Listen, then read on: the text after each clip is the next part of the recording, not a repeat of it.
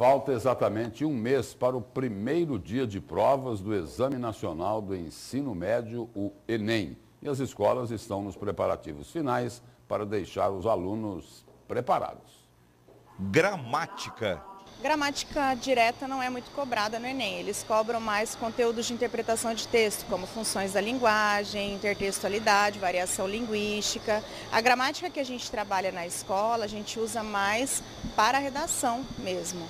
Química. Nós temos a química orgânica como a maioria da, do conteúdo, depois a gente tem a parte de atomística, equilíbrio químico, né, a parte de fisicoquímica também, que tem os cálculos, tão temidos cálculos. História. Geralmente para a história do Brasil, a gente revê muito a questão do Segundo Império, nós também passamos muito pela questão da República Velha, coronelismo. Primeira, Segunda Guerra Mundial, Guerra Fria, Revolução Russa, Era Vargas, é, redemocratização, história do Brasil, né?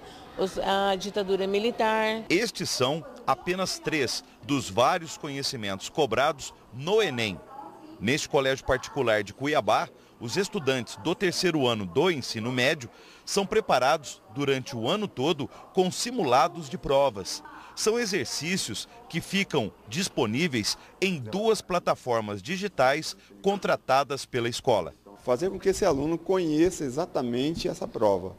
Tá? Por exemplo, na área de ciências humanas, eu trabalho aqui, a, trabalhei no primeiro semestre atualidades. Então a gente trabalha as competências. Competência 1 um da área de ciências humanas é o quê? Quais são as habilidades que contemplam essa competência? Então é desenvolvido um trabalho em cima dessas habilidades e competências, tá? para que o aluno se sinta confortável no dia da prova, ele saiba exatamente os principais assuntos, não só o conteúdo, mas os principais assuntos que serão abordados na prova. As escolas públicas estaduais também estão preparando seus alunos para a prova do Enem.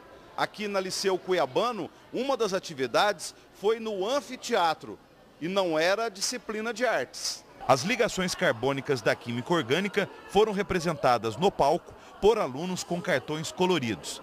A atividade tem a participação de estudantes universitários da Faculdade de Química da UFMT. Foram realizadas até agora é, duas atividades de gincana, que a primeira foi um aplicativo que a gente é, fez para realizar a gincana com 24 perguntas. A segunda atividade, fizemos perguntas e para achar objetos. E depois desse intervalo a gente vai fazer a torta na cara, que vai ser, a gente vai fazer a pergunta sobre os átomos, eles vão montar estruturas de átomos com o corpo humano e quem perder leva a torta na cara. As provas do Enem são aplicadas em dois domingos de novembro. O primeiro será daqui a um mês. Nos últimos anos, o Exame Nacional do Ensino Médio trouxe avaliações críticas sobre a realidade e abordou temas de direitos humanos, sociais e ambientais, dentro dos objetivos do milênio da ONU. Estamos assim apreensivos, assim no Brasil todo, né? Porque o ministro da Educação tem é, dito que é, vai tirar, tirou as questões polêmicas da prova. Né? Então é meio subjetivo o que, que são as questões polêmicas. Portanto, a gente está, principalmente a prova de linguagens e a prova de humanas, a gente está esperando algumas pequenas mudanças, retirada de questões, como, por exemplo, a questão da diversidade, a, os movimentos sociais, que sempre a prova trabalha muito a importância dos movimentos sociais na construção da democracia no país. Então, a gente está aguardando uma prova um pouco mais teórica, mais conteudista. Arthur, Raíza e João Pedro estão entre os 6 milhões de estudantes inscritos para o Enem 2019. Eles dão dicas do que fazer nesta reta final antes do início das provas. É estudar com calma, estudar sem desespero. Se não entendeu uma matéria, pede ajuda para o professor, não começa a chorar, desesperar porque você não entendeu a matéria. Simplesmente tenta simplificar ela, tenta bolar jeitos que você entenda a matéria, bolar esquemas que sejam bons para você. A gente está estudando bastante aqui na escola, eles estão preparando bastante a gente, eu estou fazendo cursinho. Eu estou estudando todo dia, pelo menos duas horas por dia, né?